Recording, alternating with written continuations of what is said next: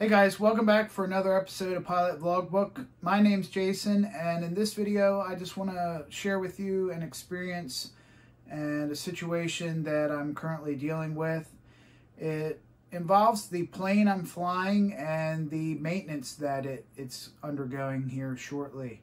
So it's coming up on its 800 hour time before overhaul for the prop, and it's about 20 hours away from that overhaul and to kind of add to the complexity here, they've already reserved a spot in the shop for it. So if the shop calls at any time basically and says they're ready to take the plane, um, it'll be out of service right at that time. And um, they're saying that it's going to take six weeks in the shop in, in, in order to complete the repair. I don't know if they're having to actually remove the prop and then they're going to send the prop away for refurbishment and you know to actually do the overhaul or if they're that backed up. It's kind of confusing because they on one hand have a place reserved kind of in queue in the shop but then they're still reporting a six week time. But it's adding um, you know a hard decision for me because talking to my instructor, you know, we're approaching, you know, here within the next couple months or so, you know, getting ready for solo. And I'm really probably the one putting 95% of the hours on the plane right now. Uh, most of the other people in the school are doing the 172 and I'm doing the 152.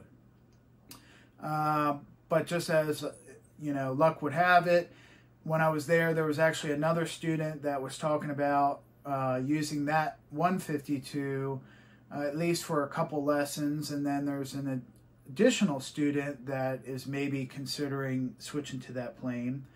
So now it's kind of like a gamble because between my hours and the other two students' hours, um, we could burn up those 20 hours and then the plane is down not only for the shop's predicted amount of time, but the shop is also not ready to take it. So if we burn through those hours in a month, and then the shop is still a month away, and then it's a six week wait time, um, it really poses uh, this challenge. And talking to my instructor, what I don't want to do is get close to being ready to solo, and then the plane's down.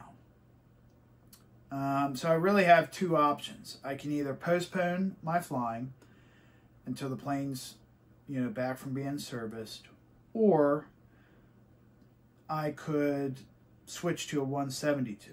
And I, I really have no interest in going to the 172 because even even just basing the cost savings on the FAA 40 hour minimum, which is unrealistic, um, the cost difference is going to be like between two and three thousand uh, dollars.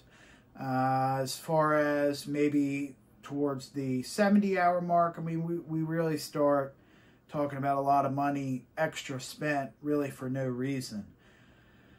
Um, so now I'm just kind of in this situation.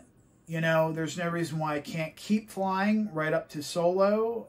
Uh, the you know I could keep furthering what I'm doing now, and then it just creates a situation where I may need to retake lessons, so to speak, or or at least be doing uh, a few practice lessons once the plane you know comes back from service kind of like redoing some of the things that i learned.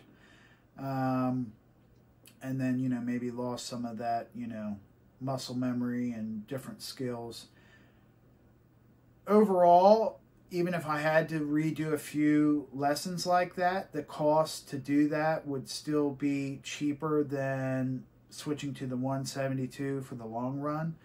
Um, with the idea being if I switch to the 172, then to just stop switching back and forth and then just continue with one plane uh, through the end of my private pilot license. Um, so if you guys have any input on that or have any situations similar to this that you're you know, dealing with or have dealt with, uh, put it down in the comments below. I'd like to hear your feedback, and I appreciate you guys watching another video. And I'll keep you updated, and thanks for watching, and I hope you enjoy. Thanks.